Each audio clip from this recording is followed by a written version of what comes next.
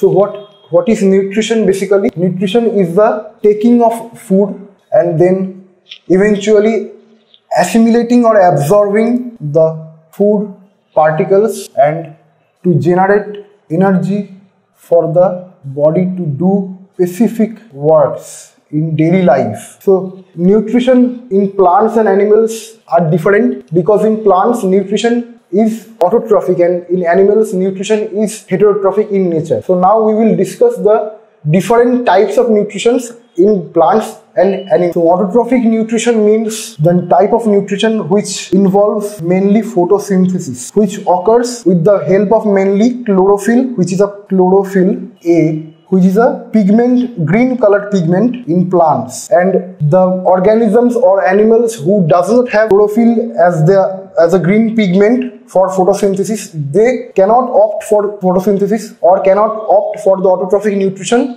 and so their mode of nutrition is heterotrophic nutrition where they absorb the, their nutrition from the green plants and they assimilate the amount the nutrition or the food absorbing from the green plants so they are called the heterotrophic mode of nutrition which is of the defined types like holozoic saprophytic and parasitic. So now holozoic, what do you mean by holozoic? Holozoic nutrition type is basically the where organisms absorb particular food materials within their cells break those food materials by oxidative, uh, respiration and after that they absorb or assimilate that amount of food to generate ATP or energy from those food. This is the holozoic mode of nutrition which uh, involves uh, like humans, cows, amoeba, etc. Now the second mode that is saprophytic nutrition. What is saprophytic nutrition? Saprophytic nutrition is also a type of heterotrophic nutrition where the organism rely on the living, uh, rely on the, the dead uh, organisms like dead or decaying organisms like dead plants, dead animals and they absorb their nutrition and proteins from those dead animals and plants. So they are called saprophytic, their nutrition is called saprophytic mode of nutrition. This uh, involves fungi, different types of fungi, yeast, etc. And now what is parasitic? Parasitic mode of nutrition is again a type of holotrophic, uh, heterotrophic nutrition where organisms rely for their nutrition on not dead or decayed organisms but on the living organisms. Like they make those living organisms as their host. So they live within or outside of the, the living organisms or the, and make make them host and absorb or grab particular nutritions and their the minerals from those living organisms or which we call the hosts so this is the mode of nutrition nutrition which we call parasitic mode of nutrition. So this involves the uh, leech, leeches, mites, etc. These kinds of organisms which uh, rely on the living organisms for their food and nutrition and they also they live within the they can also live within the host. So this is the three uh, different types of heterotrophic nutrition that is holozoic, saprophytic and parasitic. So now we will come to autotrophic nutrition. So in autotrophic mode of nutrition, we will definitely see the plants are involved fully in the process of autotrophic mode of nutrition where plants do photosynthesis that is photo means photons. And synthesis means to make something.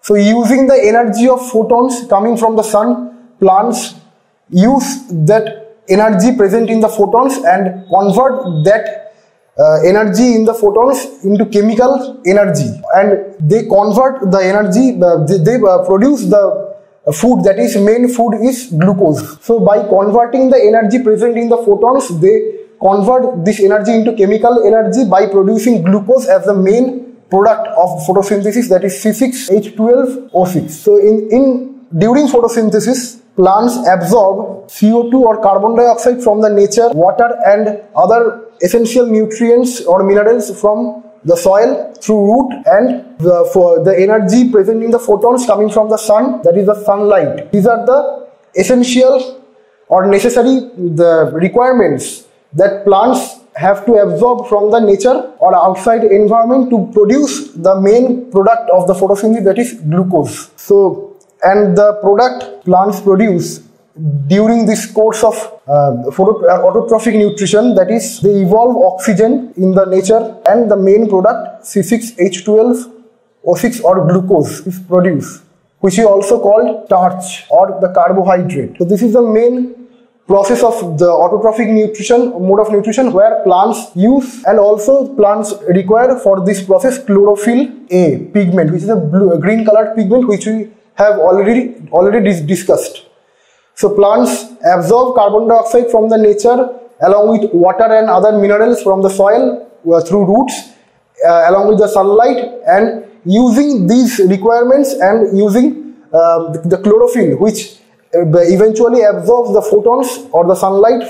The plants make the main product glucose or C6H12O6 along with they emit oxygen gas in the outer environment. So this is the main process of autotrophic mode of nutrition. So now we will discuss two different types of specific nutrition mode. The first is nutrition in amoeba. Amoeba is a single, we all know, amoeba is a single celled or unicellular organism. This is a nucleus and it has a cytoplasm around the nucleus along with the cellular organelles. So when the particular amoeba body wants to in the require it require the particular nutrition or food it uh, eventually grabs the if this is the food in front of it present in front of it it grabs the food by enlarging one of its a portion of the cell that we call the pseudopodia it forms a particular pseudopodia that eventually engulfs the food like this so this is nucleus. So the, by this manner, a particular amoeba body, when a food is present in front of it, it acquires,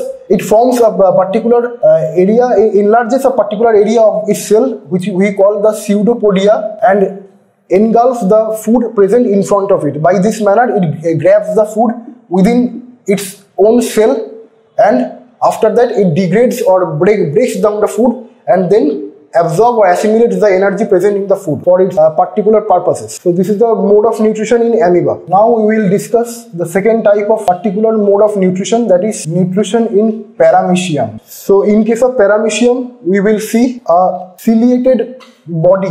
Cilia means the uh, small leg-like structures or finger-like structures with, uh, with the help of which a body of paramecium moves forward or backward to and from in to and from motion and when a particular food material is present in front of um, a paramecium, it goes towards the direction of the food and with the help of these pseudopodia like uh, with the help of these ciliated structures which we call the cilia. Ciliated structures they engulf their food. So with the help of these ciliated structures or cilia like structures they go towards the food the direction of the food and they engulf the food within their cell and then eventually breaks, breaks down the food to get the energy present within the food. So this is the particular mode of nutrition in paramecium and when they get the food they uh, translocate, uh, transfer, transfers the food to a particular chamber or particular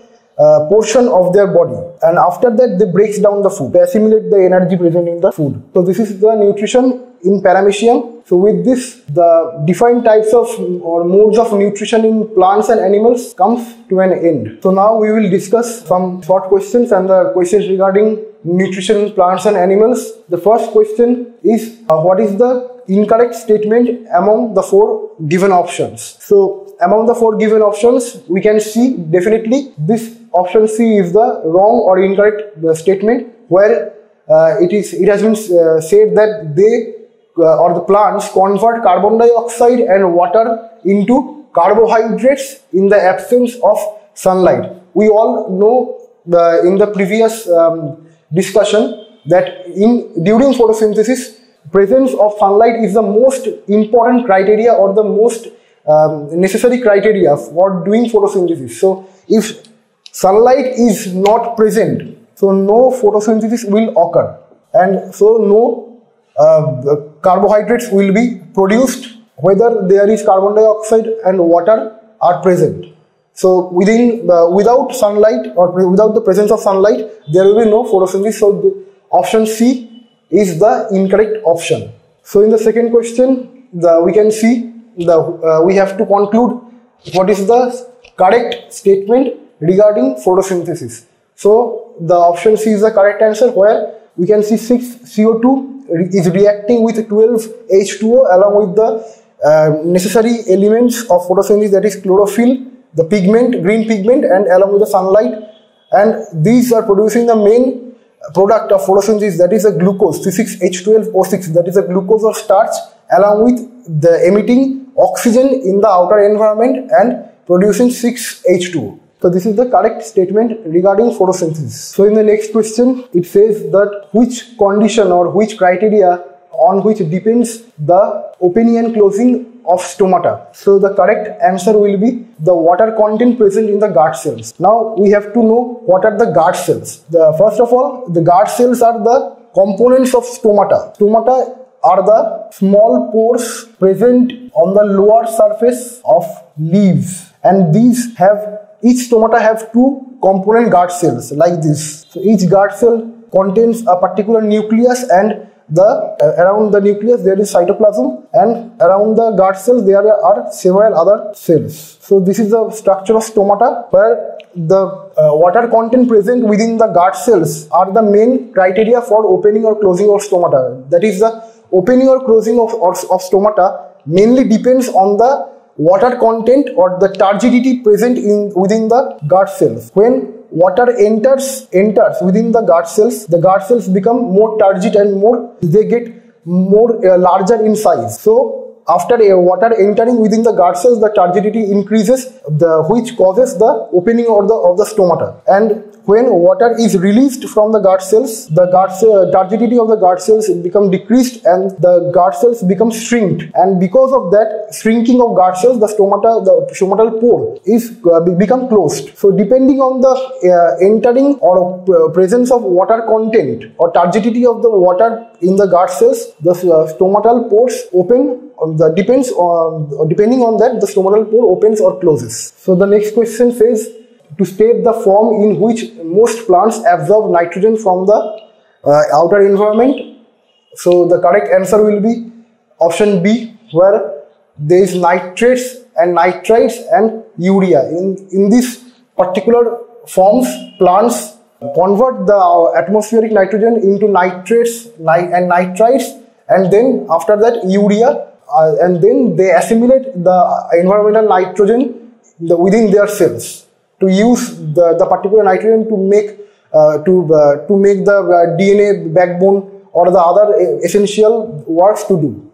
So this is the forms in which plants absorb atmospheric nitrogen. Which one process does not occur during the photosynthesis? So the correct option will be option number B, where the it says carbon dioxide is re, uh, released during the process. We all know not carbon dioxide but oxygen is always uh, released as a gas or as a byproduct of photosynthesis along with the production of glucose or starch and water. The saliva in our mouth does not have the amylase enzyme. So what will be the consequence or what um, the process will be hampered due to this cause. So the correct option will be option B starch breaking down into sugars. We uh, do not um, the, the starch will be will not be broken down into sugars as the saliva of our mouth contains salivary amylase, which breaks down the food present in mouth into maltose to form the simplest form of food that is glucose. So if salivary amylase is not present within the mouth,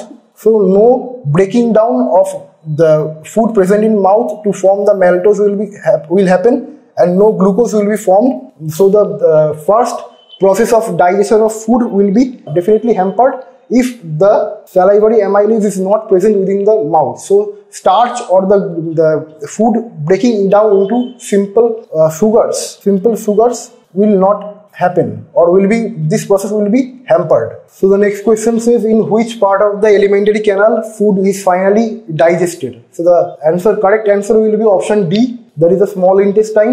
In the small intestine, within the inner wall of the small intestine, there are uh, several um, or millions of small finger-like projections, which are which we call the villi or villi. So these small finger-like projections, they increase the surface area for the digestion of food. They increase the surface area of digestion of food particles. So within the uh, villi or within the small intestine, the uh, food is finally become digested. So now we will discuss short answer type questions. The first question says, what is the role of acid in our stomach? So the first there are two uh, main or important roles of acid uh, present in our stomach. That is uh, one is to make the medium of the stomach inside the stomach acidic. Why making the medium acidic is uh, most important? Because after, only after making the medium acidic the main enzyme pepsin become activated. The inactive pepsin become activated and so the pepsin will convert or break down the food particles for the for the easy digestion or for the digestion to start. And the second thing is the acidic environment or the acidic the acidic medium within the stomach eventually kills the bacteria coming along with the food particles which we are the engulfing. These are the two main uh, importance or two main necessities of uh, having a role of acid in our stomach. So next question says the, what is the role of the digestive enzymes in our digestive system? So the digestive enzymes mainly breaks down the food particles, uh, larger food particles into small pieces in order to digest the food, then assimilate, to absorb the main energy present within the food by oxidative respiration that happens within the mitochondria. Like we can uh, take the example of amyl amylase or salivary amylase which breaks down the uh, food particles uh, into maltose from that into the simple simplest form of food that is the glucose or sugar. So amylase uh, breaks down food or starch into maltose and from that it breaks down to glucose or sugar. So by this manner the digestive enzymes breaks down the large food particles into small pieces and then digest the food particles by uh, making the converting those food particles into simpler simpler forms to assimilate those and to grab or absorb the energy present within the food materials by the method of oxidative respiration which occurs in the mitochondria. So the next question says the what is the method of digestion of fats in our body. This involves the process first of all starts with the upper part of small intestine which receives the bile juice. Then the bile juice contains a, a particular salt that is called bile salt which breaks down the large fat bodies or fat elements present in the food to convert them into smaller globules and this process is called emulsification. This process of breaking down of large fat molecules or fat bodies into smaller globules by the bile salts is called the emulsification process after which small intestine releases the, the lipase enzyme which breaks down the fat globules or smaller fat glo globules after emulsification to uh, form or uh, convert them into fatty acids and glycerol which are the simplest form of fats after being digested in our body. So the, the assimilation occurs after the production or conversion of large fat molecules the, uh, into fatty acids and glycerol and then they are uh, assimilated or absorbed in our body. So this is the process of digestion of fats in our body. So for um, the, again I am repeating the upper part of small intestine receives bile juice from the intestine. The bile juice contains bile salts which then breaks down the large fat molecules into smaller globules, which we call the emulsification process. And after that, the uh, small intestine releases lipase enzyme, which breaks down the smaller globular fat, uh, fat molecules, uh, which are produced through the process of emulsification and convert those small fat globules into fatty acids and glycerol for further assimilation. So the next question says, why does the problem of acidity occurs in our body? So when the inner linings of our stomach releases uh, excessive or more the acids, then the it is necessary for the break, breaking down of food. Then the acid problem of acidity is, uh, is started because a particular pH or acidic environment should be maintained within the stomach in order to digest and breaking down of food. So if somehow the uh, the inner linings of our stomach produce more acids than they are necessary for the breaking down of food, then it becomes problematic and the uh, more acidic environment is become created which hampers the main digestion of food. So the when we are starving or when we are the we have engulfed excessive amount of food in our body. So these kinds of problems will be happening uh, because of the excessive amount of acids which are being generated within the inner linings of the stomach or from the inner linings of the stomach which increases which decreases the pH uh, more than which is necessary or the for more decreasing the pH more from the necessary level. So that is why it is become problematic. So for the next question it says which is, which enzyme first initiates the the digestion of food in our body? And the, the enzyme pepsin basically it breaks down protein in the food materials to form the amino acids in order to assimilate the proteins or and the nitrogens in our body. So the enzyme pepsin first starts degrading the protein present in the food in order to convert them or uh, to form the amino acids and then assimilate uh, the nitrogen and proteins present within the food particles. So in the next question we will now discuss the specific roles of these specific elements like trypsin causes the breaking down of proteins into amino acids within the, in the course of digestion of proteins present in the food particle. Now the next is the muscular walls of stomach. They help in mixing of food properly with the digestive juice or we call the bile juice in order to break down